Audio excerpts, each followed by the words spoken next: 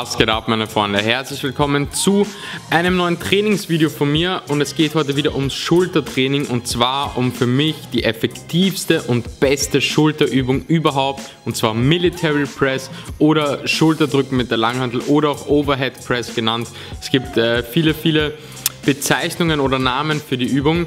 Und ich habe es, wie gesagt, schon mal gesagt, ich muss es unbedingt wiederholen.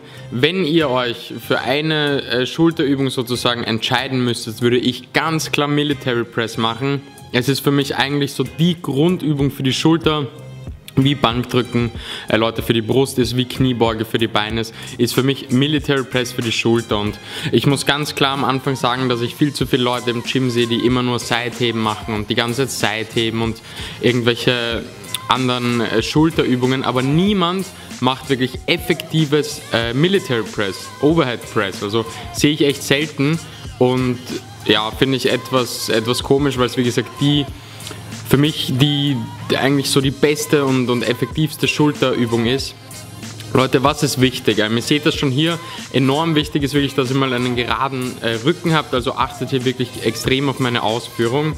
Ähm, der Unterarm, Leute, sollte gerade unter der Stange sein. Ihr habt das jetzt sicher gerade gesehen. Wenn nicht, äh, spult später auf jeden Fall nochmal zurück. Der Unterarm muss gerade unter der Stange sein. Das ist ein Fehler, den sehr, sehr viele machen.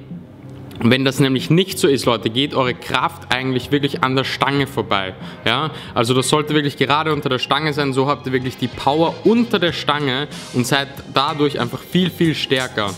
Wenn ihr runter geht, Leute, schaut, dass ihr den Kopf etwas nach hinten bewegt und wenn ihr dann das Gewicht hochdrückt, Kopf nach vorne, kurz äh, halten, um wirklich auch äh, ja, nicht irgendwie in, in, in, ein Ungleichgewicht zu kommen.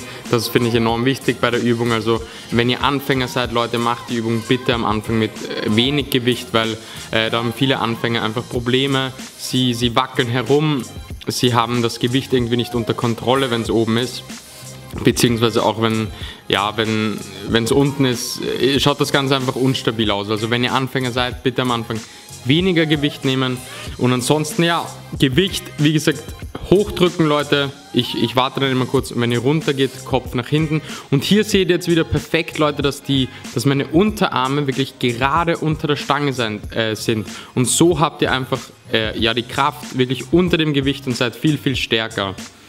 Was ich noch dazu sagen muss, ähm, was noch sehr wichtig ist bei der Übung, spannt euren Arsch an, ja, damit ihr eine gute Körperspannung habt, also wirklich euren Arsch anspannen und Leute, macht kein äh, starkes Hohlkreuz, das ist auch ein Fehler, den, den viele machen beim Military Press, dass sie ein enormes Hohlkreuz machen, aber das ist Blödsinn, lieber den Kopf zurückgeben und dann mit dem Gewicht runter.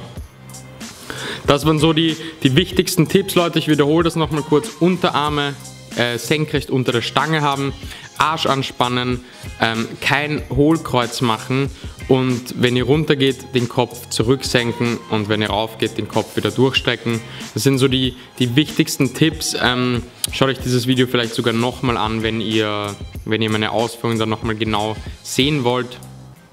Und ja, Freunde, das war ein kurzes äh, Video über Military Press, über für mich äh, über die effektivste Schulterübung meiner Meinung nach. Baut ihr auf jeden Fall in euer Training ein. In meinem Trainingsplan ist sie immer dabei, auch in den Programmen Lean Massive von Fit and Shredded ist Military Press immer, immer dabei.